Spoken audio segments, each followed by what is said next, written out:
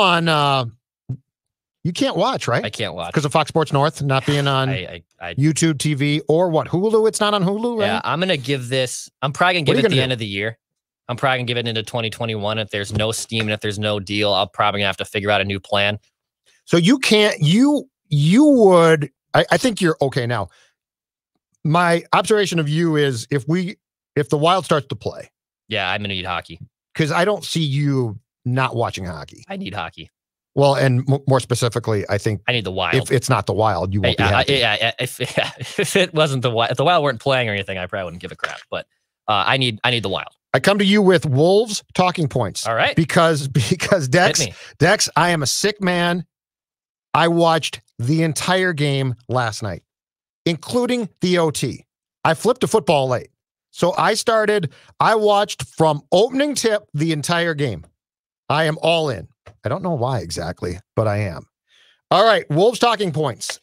Number one, and these, for the most part, positive points. All right, wow, shocking. Now, I, I believe they trailed by something like 18 or 20 late in the game. Malik Beasley hit two or three threes. Uh, they started to come back after Dallas uh, put its starters on the bench and ultimately rallied for a 129 128 overtime victory. Uh, talking point one, though, Jarrett Culver. Okay. Jarrett Culver was in his first year with the Wolves a disaster from the free throw line. He was absolutely atrocious. 18 points last night, five of 12 from the field. And most importantly, probably f- for him, six for six from the line. I'm not going to sit here and say that I think that Jarrett Culver is going to be a savior because I don't. But I do think with what he can bring potentially defensively, which, by the way, this team is going to need badly. I don't know consistently where the defense is going to come from, and I don't think they're good enough to outscore teams. So I do think that the Okogies and Culvers are going to have to play, Yeah. like they're going to have to play them. Um, but I think with what we've seen from Culver, the new shot, uh, he looks. I think he looks stronger. Yeah. That I that this is go, going to go from being what appeared to be an incredibly questionable draft pick, not because of desire, but just because of talent, to what could be a solid pick. Not a great pick, but a solid pick. And again, I will point out the most important thing to me and the most important question when the regular season starts and they're going to start on Wednesday against the Pistons at uh, Target Center is where is the defense going to come from? And Jarrett Culver can at least help with that. This note from Dane Moore on Jarrett Culver last night, who was on our show uh, a few days ago. Friend of the show? Yep, friend of the show, Like as like I like to say. Uh, covers the Timberwolves very well. He says Jarrett Culver is seven for seven from the free throw line this preseason in nine quarters of play. It took Jarrett Culver nine games last season Yeah. in 21 attempts Yeah. to make seven free throws.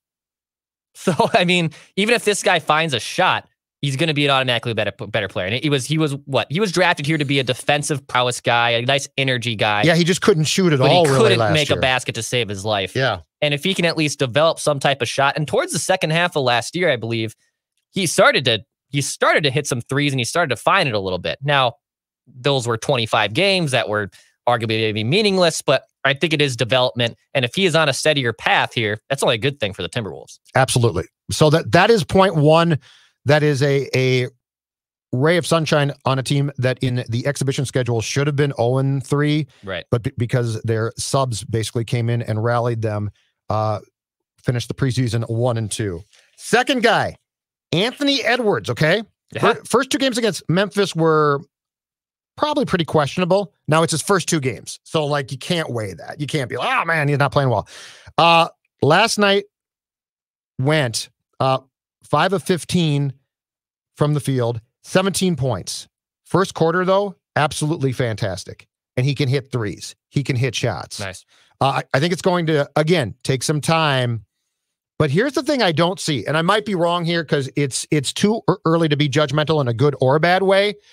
Uh, Dex, I don't see physically, and I don't see how he plays necessarily the direct comp to our guy Wiggy. Like I've seen that comparison. Yeah. Oh man, he sort of disappears, and he might. But and this is going to sound weird. I think if he disappears, it's in a different sort of, of way. Okay. Um, I think that he has. I this kid has the ability.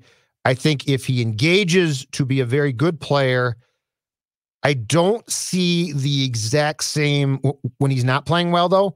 I don't see the exact same disinterest that we saw. Andrew basically disappeared completely.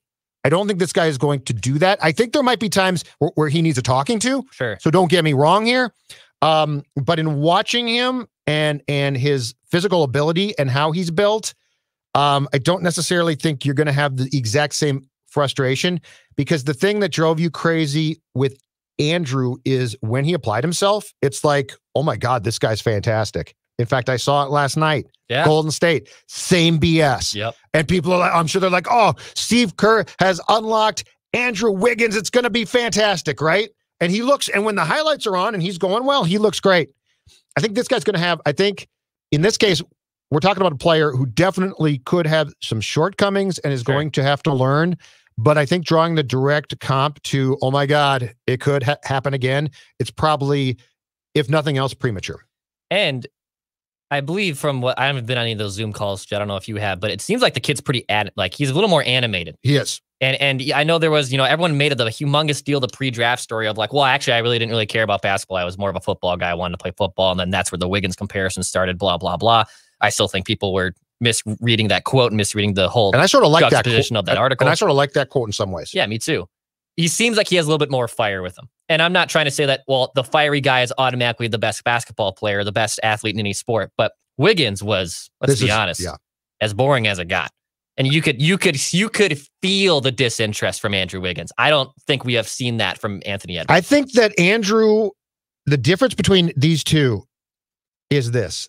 I think Andrew Wiggins was athletically checked out. Edwards is not. Now, that doesn't mean he's not going to have some problems, sure. and it doesn't mean that he's going to be engaged constantly. But Wiggy always struck me as the type of guy who, at any given time, if he applied himself, could go off and be fantastic. hmm And most of the time was like, but I don't even like basketball. This guy, I think, I know that that he's got the football comment that people basically ran with. Yeah. But I think he likes sports. He does. And I mean, this sounds pathetic, but that's a good starting point. Yes. I mean, it sounds so stupid to say.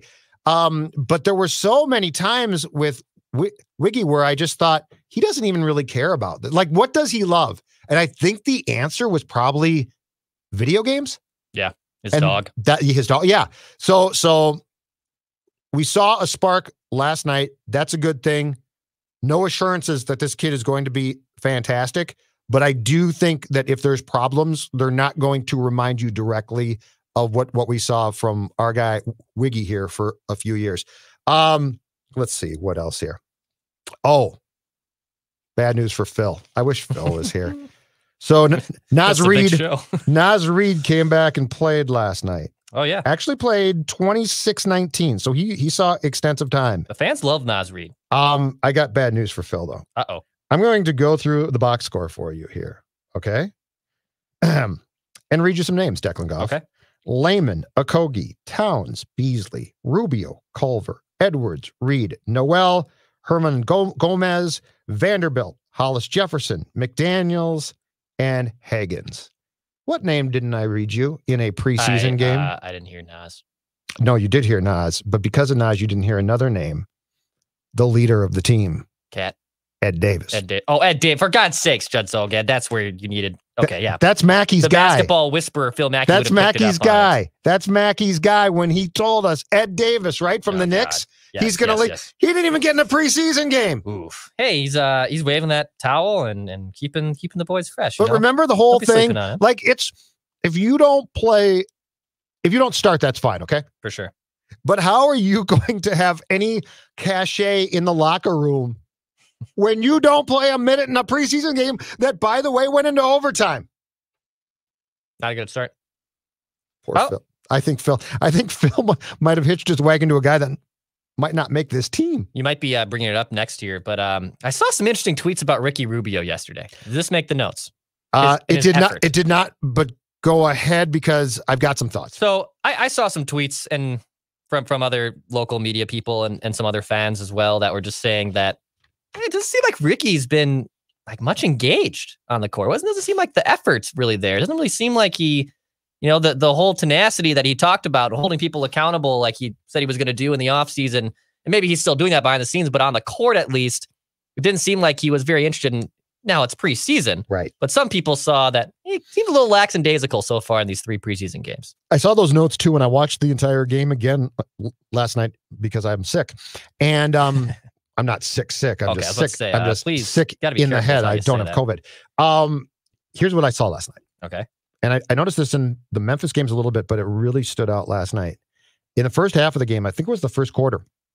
Ricky got a partial breakaway, and and uh, just to note, D'Angelo Russell did not play uh, because he was battling a minor injury, and so Ricky played more.